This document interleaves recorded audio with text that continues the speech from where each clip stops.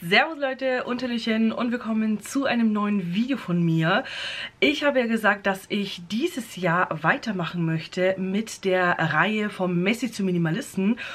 Und ja, was bietet sich denn eigentlich Besseres an, als im Prinzip im neuen Jahr damit zu starten, einfach mal die Weihnachtsdeko auszumisten.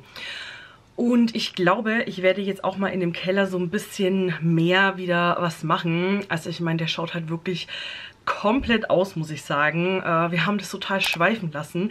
Eigentlich hatten wir ihn ja eine gewisse Zeit lang echt schön sauber gehabt. Doch irgendwann, ja, kam es halt einfach dazu, dass wir wieder ein bisschen nachlässiger damit geworden sind. Auf jeden Fall, bevor ich jetzt da lange um den heißen Brei herum rede, würde ich mal sagen, starten wir einfach mal und ich zeige euch jetzt den Ist-Zustand. Aktuell sieht es so aus. Hier liegt sehr viel Graffel, sage ich mal. Dann ist ja hier dieses ja, Schubladensystem quasi, was ich selber dann gesagt habe, was ich hier haben möchte. Hier ist dann der ganze Vorrat, also von den Lebensmitteln her. Und ansonsten ist hier halt auch sehr viel Chaos. Ja. Mehr als viel Chaos. Ich würde einfach mal sagen, wir starten mal mit dieser Ecke hier und arbeiten uns ungefähr mal ja, bis zu dem Lebensmittelvorrat hin. Ich fange jetzt einfach mal von hier oben an und schaue, was weg kann. Also das hier ist ja eigentlich auch Lebensmittel. Dann haben wir hier noch zweimal Feuchttücher. Das ist ganz gut zu wissen, dass ich da wieder was bestellen muss. Ja, und dann haben wir halt einfach hier ehrlich gesagt, es nutzt halt keiner. Das ist das Problem. Ich habe das noch nie aufgemacht. Das habe ich damals in meiner Ausbildung geschenkt bekommen. In meiner Ausbildung. Das ist so lange her einfach. Ich glaube, das kann weg. Was haben wir denn da? Imprägnierspray. Ey Leute, das nutzt kein Sau mehr. Vanish. Naja, komm. Also das Ding kann auf jeden Fall weg. Machen wir mal die Dünen da für Müll, Duftkissen. Was haben wir da noch alles drin? Da ist nichts drin. Komm, das schaut so scheiße aus. Weg damit. Einfach nur weg damit. Was ich nicht brauche, was ich nicht nutze, weg damit. Was habe ich denn hier? Schmusekatze. Da steht einfach mal Schmusekatze drauf. Antifriss, Friss, Fritz, Friss, Friss, Friss, keine Ahnung. Was macht das Ding? Für geschmeidige Styles, Glätten, Seiden, weich, halt. Ey, das nutze ich nicht. Ich schaue mal, ob ich das irgendwie, keine Ahnung.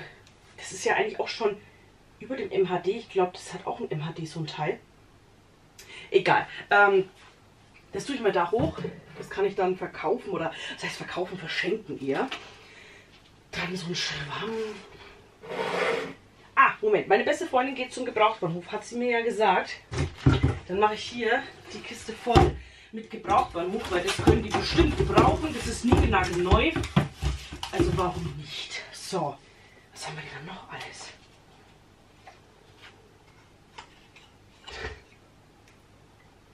Spülmaschinentabs, warum auch nicht? Nochmal Spülmaschinentabs, nochmal Spülmaschinentabs. Gut, die kommen dann einfach hoch. Tampons. Ja, im Prinzip kann ich die schon aufheben. Die waren ja nicht schlecht. Und meine Tochter ungefähr in das Alter kommt, das schmeißen wir. So, dann so.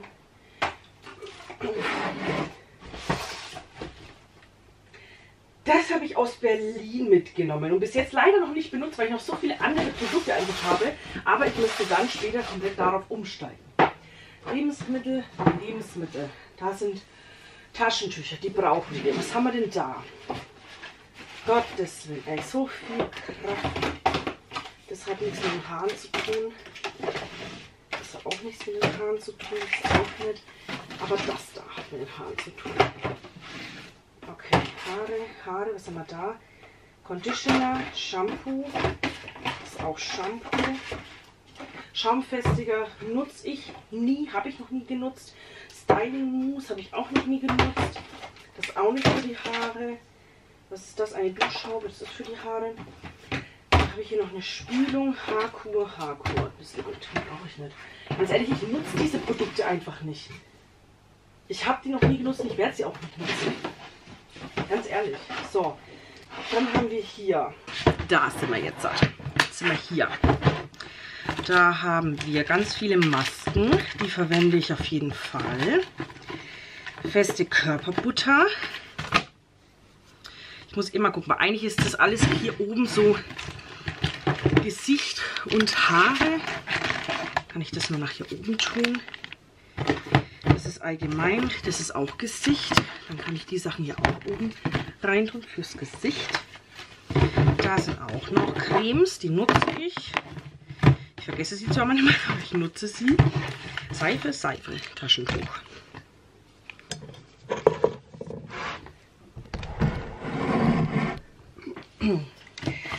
Dann Gesicht, Taschentuch, Seife, Gesicht. Das kann rein. Dann haben wir hier das. Was habe ich hier? Wasserspray Gesicht. Das ist noch gut. Das ist ehrlich gesagt auch sehr erfrischend im Sommer, einfach sich da ein bisschen Wasser ins Gesicht zu klatschen, beziehungsweise zu sprühen. So, was haben wir denn noch alles? Ach, da. Da hatte ich hier oben nämlich die, äh, die waren da drin. Komm, den lege ich einfach mal da rein, dann passt das nämlich auch thematisch da dazu. Dann habe ich jetzt hier noch Seife, Seife. Seife, Seife, was ist Seife? Duschbad, schöne Haut, Schöne Haut. Das ist auch Haut. Das ist Sonnencreme. Ich glaube, die kann man wegschmeißen. Sortiere ich dann später alles noch aus. Duschgel. Seife, Seife, Seife. Also ich glaube, bei einer Apokalypse, wir bleiben sauber. War das jetzt? Feste Körperbutter. Ja, das ist jetzt hier eigentlich alles, was mit Körper zu tun hat. Und dann haben wir hier die ganze Seife. Dann sind wir damit auch schon mal durch. Geht doch sogar relativ rasch. Ach du heilige Makrele. Oh, jetzt habe ich diesen Schub aufgemacht. Körper. Körper ist ja eigentlich jetzt alles hier drüben. Dann muss ich das mal schauen, dass ich das irgendwie umschlichten kann. Hm. Dann haben wir da echt noch mehr als genügend Ding. Also Körperdingenskirchen da halt ähm, da. Was ist das? Irgend so ein Gelenkding. Das habe ich mal gekauft für den Kleinen, weil ich eigentlich gedacht habe, dass er sich voll drüber freut mit einem Schaumbad. Er hat geweint. Deswegen lassen wir das. Ich habe irgendwo eigentlich einen Schub für die Kiddies. Also speziell für die Kiddies. Da unten ist ein Müllbeutel. Und da ist Zahnpasta. Alles, was mit Zähnen zu tun hat. Ja, dann lasse ich das jetzt einfach mal da. Das auch für die Kiddies. Das ist für die Hände. Kiddies, Hände, Hände, Hände. Was haben wir da unten? Das auch nochmal. Und das tun wir einfach dahin. Und dann Lippen, Lippen, Lippen. Das gehört ja eigentlich theoretisch zum Gesicht. Dann tue ich das da mal drüben hin. Und dann kann ich eine Packung auch gleich aufmachen. Denn meine Lippen sind so spröde wieder und ich habe keinen mehr. So.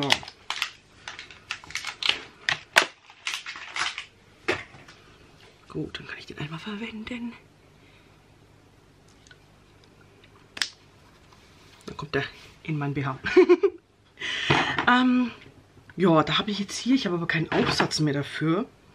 Gillette. Weg. Das ist nochmal so eine Lotion. Pröbchen. Eigentlich habe ich hier drüben einen extra Bereich für Pröbchen. Dann tue ich das auch mal da rein. Pröbchen, Pröbchen, Pröbchen. Pröbchen, Pröbchen, Pröbchen. Falls wir mal irgendwo hinfahren, fliegen wollen, was auch immer, habe ich da mehr als genug. Also, hier ist jetzt quasi so ein bisschen Mischmasch, so für die Kiddies und für die Hände. Dann habe ich hier alles, was mit den Zähnen zu tun hat. Aufsätze, Zahnseide, das hat nichts mit den Zähnen zu tun. Mundspülung und ganz viel Zahnpasta, Zahncreme, auch für die Kiddies. Und schon wieder Taschentücher. Die haben da nichts verloren. Nochmal Aufsätze, nochmal hinten Zahnseide. Ja, das passt eigentlich auch. Und hier unten habe ich irgendwie mal den, die Müllbeutel hingetan, wie so auch immer. Äh, hier auf der rechten Seite, hier auf der rechten Seite ist die Schublade von meinem Mann. Dann noch für die Ohren. ganz, ganz viele. Und Bartpflege für meinen Mann. Und hier unten ist diese, ähm, ich sag mal, okay. Nein, ich randaliere natürlich nicht. Äh, hier unten ist so diese Pröbchen Schublade quasi, wo alle Pröbchen drin sind. Und da unten ist auch nochmal so ein Venus. Der kann einfach auch weg. Das ist die Tasche dafür für unterwegs und alles andere sind Pröbchen. Und wundert euch bitte nicht, warum ich das Ganze ein bisschen zügiger mache. Das kommt wieder rein, das habe ich ganz vergessen. Mein Kleiner, der schläft jetzt halt und da muss ich die Zeit ein bisschen nutzen. Und ich will dann auch noch etwas lernen. Jetzt kommen wir zu der Schublade hier unten. Eigentlich könnte ich davon im Prinzip echt alles wegtun. Das hat mir früher mal total gefallen, aber jetzt habe ich dafür überhaupt keine Verwendung. Ich weiß nicht, was ich damit machen soll. Also, irgendwie finde ich es schön, aber irgendwie auch wieder kitschig. Zum Beispiel das da. Es ist halt echt so, ich kann mich gerade echt nicht entscheiden, was weg soll, ob was weg soll, ob ich nicht doch noch irgendwas verwende. Also da auf jeden Fall wird noch alles mehr oder weniger davon verwendet. Da habe ich, oh mein Gott, ey, wie alt diese Dinger hier schon sind. Mit Delfinen und Schmetterlingen. Das ist eigentlich eine coole Idee. Das nehme ich jetzt mal mit. ähm, Aha. Damit könnte sich doch auch irgendwas machen lassen. Ich weiß, ich weiß gerade bloß nicht was. Ja, dann hier drüben, das finde ich ehrlich gesagt sehr schön. Das verwende ich auch immer wieder im Sommer. Das sind, ähm, die habe ich mir vor zwei, drei, nee, vor vier Jahren, vier oder fünf Jahren, glaube ich, habe ich mir die mal beim entweder Nanunana oder beim Kick geholt und ich finde die mega schön, aber ich habe es immer vergessen auszupacken. Aber die werden nicht wegkommen, genauso wenig wie das hier. Also das bleibt alles. Da ist dann so ein Relax mit ganz vielen Steinchen da. Das ist so ein Set quasi und das kommt da dann wieder rein. Das kommt nicht weg. Dann hier unten, jetzt muss ich erstmal die Boxer wegtun. Hier unten haben wir Ostern. Das ist immer das Osternestchen, das wird dann immer gefunden. Also das muss definitiv bleiben. Dann haben wir einmal Home, so im Osterdesign. Da sind die Eier rausgeflogen. Dann haben wir hier noch so ein kleines Nestchen. Das hatten wir ähm, das habe ich auch mal gekauft. Da habe ich es vorher für die Kleine mal reingetan, die ganzen Sachen. Und äh, ja, da hatte sie halt ein kleines Nestchen und dann noch ein größeres Nestchen. Und da hinten ist auch noch so ein, so ein Hase, so ein Dekohase. Den hat sie immer im Zimmer gehabt. Also das auch nicht. Dann hier. Boah, ey.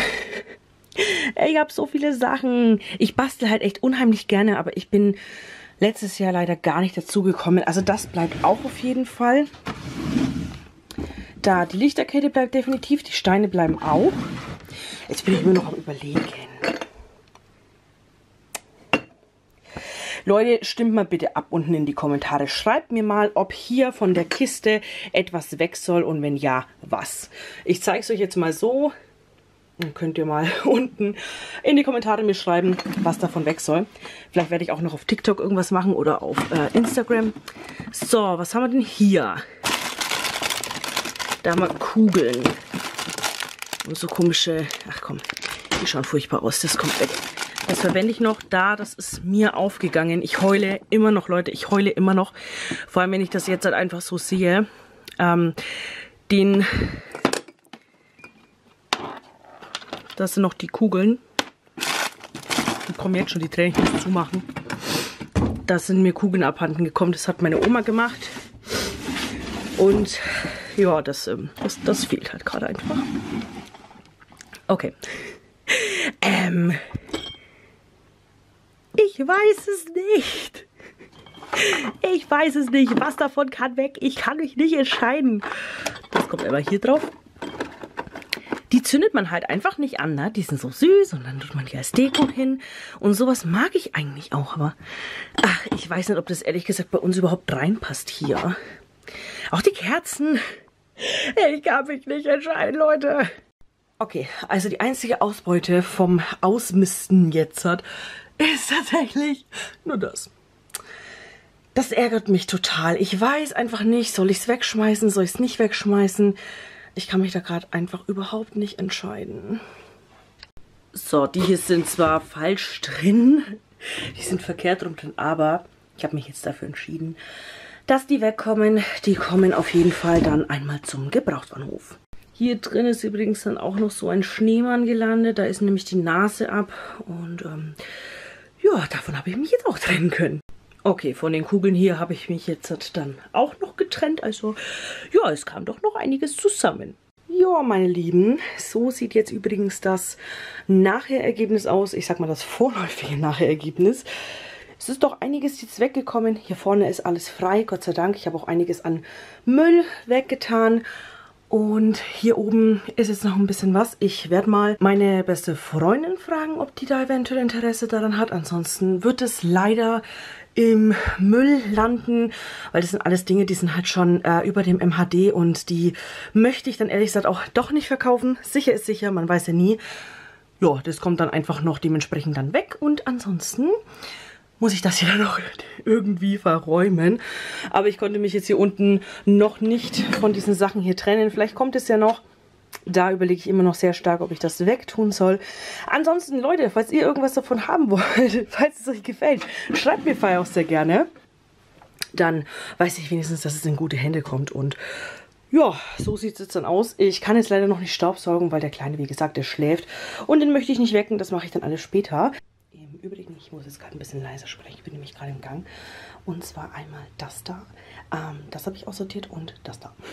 Das ist jetzt aussortiert und muss dann natürlich auch noch sortiert werden, dass es in dem richtigen Müll dann landet. Das tue ich jetzt nicht alles einfach in eine Tonne reinschmeißen.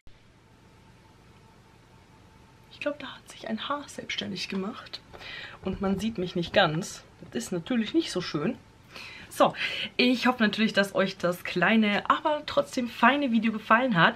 Ich habe ehrlich gesagt auch nicht damit gerechnet, dass ich dann doch noch so viel ausmisten werde. Also es ist dann doch noch einiges, ähm, ja, sozusagen im Müll gelandet oder auch im Gebrauchbahnhof, falls es eben was gegeben hat, was man noch verwenden kann. Und von den ganzen anderen Produkten, da habe ich jetzt auch schon Fotos gemacht für meine beste Freundin und dann schicke ich ihr die mal. Und wenn sie sie gebrauchen kann, dann kann sie sie gebrauchen und wenn nicht, dann müssen sie halt leider Gottes weg. Da kann ich dann auch nichts mehr dran ändern. Trotz alledem hoffe ich natürlich, dass euch das Video gefallen hat. Und wenn ja, dann würde es mich natürlich freuen, wenn ihr dem Video einen Daumen nach oben da lasst und natürlich auch ein kostenloses Abo. Das könnt ihr auch immer gerne machen. Und dann schreibt mir auch gerne mal in die Kommentare, ob ihr denn bei der Challenge oder bei der Reihe quasi mitmacht, vom Messi zum Minimalisten und selber gerade auch ein bisschen ausmistet und bei euch zu Hause einfach klar Schiff macht. Und dann sehen wir uns auch schon beim nächsten Mal. Bis dahin, macht's gut. Tschüss.